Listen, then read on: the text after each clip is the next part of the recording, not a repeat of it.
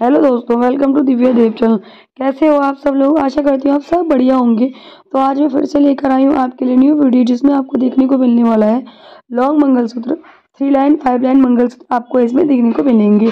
पर ये जो भी डिज़ाइन आपको दिखाई दे रहे हैं लॉन्ग मंगलसूत्र तो ज़रूर है, पर ये चौरों वाला मंगलसूत्र है और ये धागे में ओढ़ा हुआ है।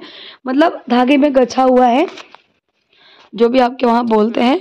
तो धागे में गछा हुआ है ये जैसे धागे में भी गसते हैं और सोने के पाइप में भी गसते हैं, जो सोने का तार होता है, उसमें भी गसते हैं और वो थोड़े महँगे बनते हैं तो ये एक तोले से डेढ़ तोले में बन जाता है। दोस्तों, वो आपके ऊपर डिपेंड करता है कि उसका लॉकेट आप कितना भारी बनवाएँगे।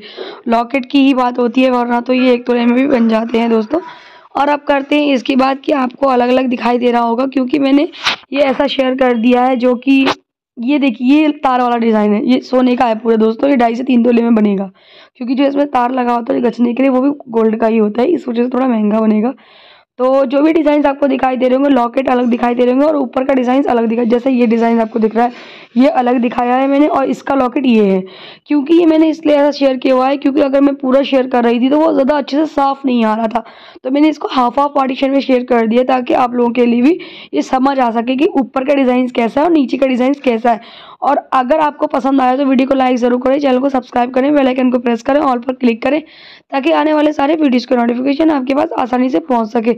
गोल्ड का price seventy five thousand rupees है। दोस्तों बाय थैंक्स फॉर वॉचिंग